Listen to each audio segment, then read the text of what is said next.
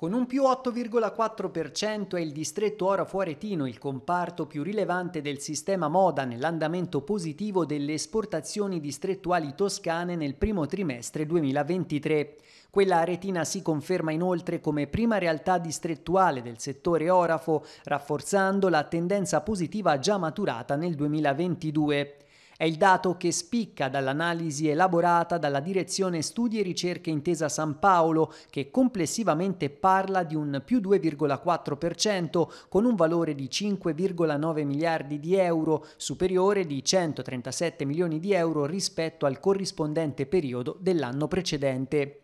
Tra le specializzazioni evidenziate dal report del monitor dei distretti della Toscana, a ritagliarsi un ruolo da protagonisti anche quelli aretini della pelletteria e delle calzature, più 33,1%, e del tessile e abbigliamento, più 10,5%, che però nel 2022 non avevano ancora completato il recupero rispetto ai dati pre-Covid.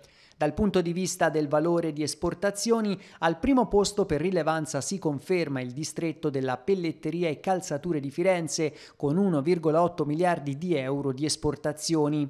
Bene anche la filiera agroalimentare che rappresenta circa un decimo dell'export distrettuale toscano e ha realizzato una crescita del 3,1%. Nel primo trimestre 2023 si consolida il ruolo del distretto dell'olio toscano, più 13,3%, maturato soprattutto nel mercato statunitense e francese.